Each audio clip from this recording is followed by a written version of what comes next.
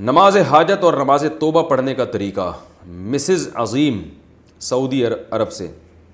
सलातुल हाजत और सलातुल तोबा पढ़ने का तरीका बता दें।